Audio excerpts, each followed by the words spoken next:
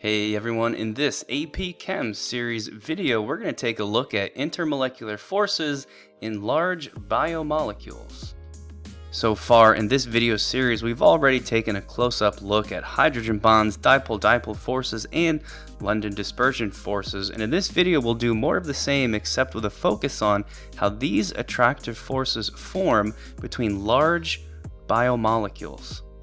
So when I say large biomolecules, essentially we're talking about just that, really giant molecules, typically the types we see in biological systems. For example, we've got proteins, DNA, carbohydrates, lipids, or just general hydrocarbon chains.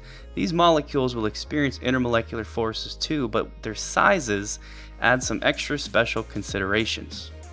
The first thing you've got to realize when looking at large biomolecules like this is that they're so big, it doesn't really make sense to classify them simply as being polar or nonpolar like we've done so far with smaller molecules. Instead, when you've got a large biomolecule, you're going to look at it in terms of regions of the molecule, where one region might be polar and a region right next door might be nonpolar. Let's start off by taking a look at large molecules that have multiple regions that would be considered polar. If your molecule has multiple polar regions, it can form multiple intermolecular forces to other molecules as a result. Because there's multiple intermolecular forces that can form, attractive forces between molecules like this tend to be increased. To show you exactly what this might look like, let's consider a sample of glucose and the two glucose molecules shown here. So right off the bat, you can see that these glucose molecules are giant, and that means it doesn't really make sense to call those molecules polar or nonpolar. Instead, you might look at a region of the molecule, like right here that I'm circling in blue, and since it's only made of carbon bonded to hydrogen atoms and the electronegativity difference between those atoms is relatively small, you might say that this region of the molecule tends to be nonpolar.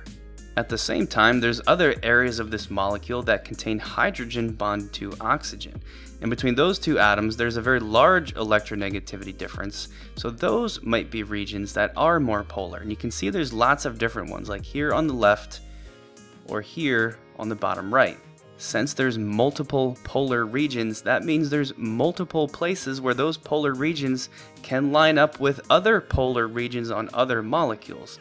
In this case, since both molecules meet the qualifications for a hydrogen bond to form, you might say that not one hydrogen bond forms between these two molecules, but two. We can summarize this relationship by simply saying the more polar regions a molecule has means there's going to be more chances for dipole-dipole forces to form, which is going to increase the attractions you'll see between molecules. We can use this to make comparisons between different substances like 1-hexanol shown on the left or 1,6-hexanediol shown on the right. 1-hexanol seems to just have one polar region with oxygen bonded to hydrogen, whereas 1,6-hexanediol has two.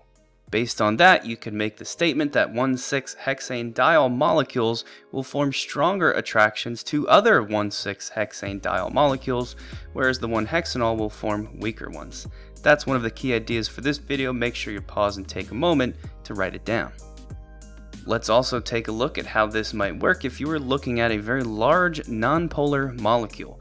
So a large nonpolar molecule, or at least a region of a molecule that's nonpolar, is only going to be able to experience London dispersion forces to other nonpolar molecules.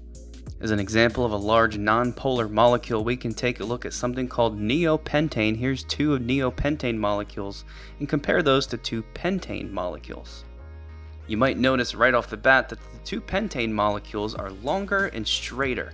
This allows the two molecules to line up next to each other with more contact area, or what you might also call more surface area.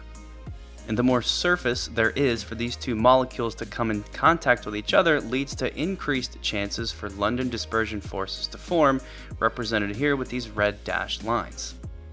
If you do the same thing and look at the neopentane molecules, you'll notice they're much more compact. That means there's less surface area or less area where the two neopentanes can come in contact with each other. That means here there's going to be fewer London dispersion forces that can form. All of this leads to the fact that my pentane molecules will experience stronger attractions while the neopentanes will experience weaker ones.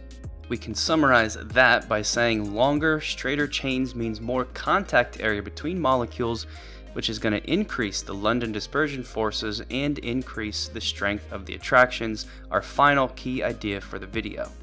And that also concludes this video on intermolecular forces in large biomolecules. Thanks a lot for watching, and here's a brief summary.